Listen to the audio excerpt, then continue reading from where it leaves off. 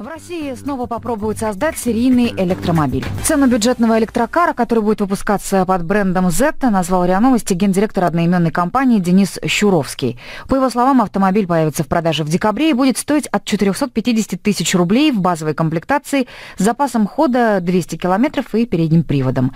Сейчас подготовка к производству завершена на 70%. До конца года должны завершить, если не будет финансовых затруднений. Все валидационные испытания автомобиль уже прошел, цитирует Щуровского агентства. В компании Zeta сообщили, что по количеству деталей машина на 99% российская. Лишь батарея импортируется из Китая, однако ее стоимость настолько высока, что составляет порядка 50% цены всего автомобиля. О перспективах создать первый российский серийный электромобиль со второй попытки после провала ее мобиля рассуждает ведущий телеканал «Автоплюс» Павел Федоров.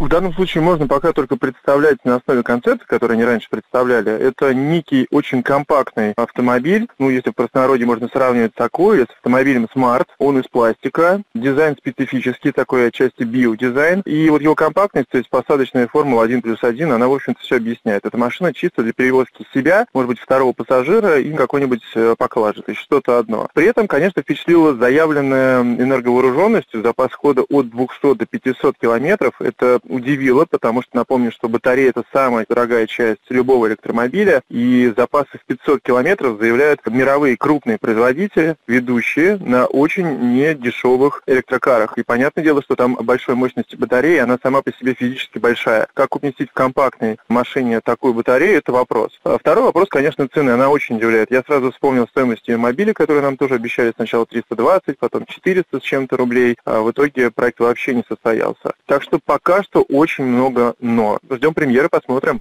Павел Федоров, по прогнозам Щуровского, сегмент компактных электромобилей, на который выходит Zeta, может вместить до 15 тысяч проданных автомобилей в год в России.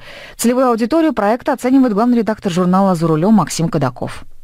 С одной стороны, такой автомобиль вполне достаточно для города. Это явно не машина, на которой можно поехать из Москвы в Петербург с комфортом. И, в общем-то, почему бы и нет. Да? С другой стороны, человек, который в принципе не готов к автомобилю по деньгам, ему и этот электромобиль будет дорог. А люди, у которых есть деньги на машину, я думаю, что в такой электромобиль смешной, так скажем, да, не очень-то захотят и садиться, чисто психологически. Хотя, поскольку нарождается уже, так сказать, выходит в активное пользование дорогими товарами нового поколения, молодые люди, у которых парадигма потребления товаров немножко другая, она изменилась, вполне возможно, что э, вот этот молодой офисный планктон, который более-менее зарабатывает и для которого автомобиль не является каким-то определяющим социальным таким маркером, то вполне возможно, что они наряду со своими велосипедами, сегвеями и электросамокатами захотят воспользоваться и таким электромобилем.